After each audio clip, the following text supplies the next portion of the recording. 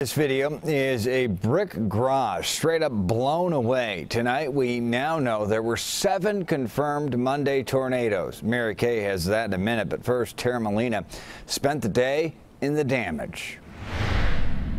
It's tough just getting around here today. This is Schorsch Village, where people aren't alone in their hopes for help clearing all of this soon.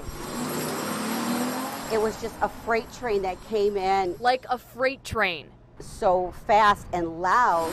Christina and her husband saw it coming and raced downstairs, bracing for a hit. It was scary. Coming back up to find this 25 years, and this has never happened. their brick garage gone. We're the only brick garage in the neighborhood, and we're the only garage that went down.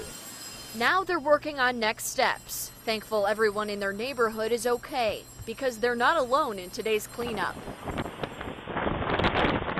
Just a couple blocks away, a doorbell camera captured entire treetops break off. Some of them into Jennifer Carfo's house. And my neighbor says to me, There's a tree in your house. And about two foot of a tree was inside, went through the roof. Thousands of 311 calls for help with storm damage. Hundreds of trees have been cleared.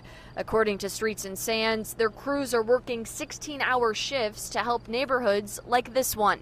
Until then, they're helping each other. We have some great neighbors that came over immediately and started helping us. Everybody came together and pitched in. We all just started work. It was ki- it was it was fun. Tonight, there are still thousands in Chicago without power. We're told some in the Rogers Park area could be waiting until the 15th. We'll keep checking on that. Reporting in Schorsch Village tonight, I'm Tara Molina, CBS 2 News.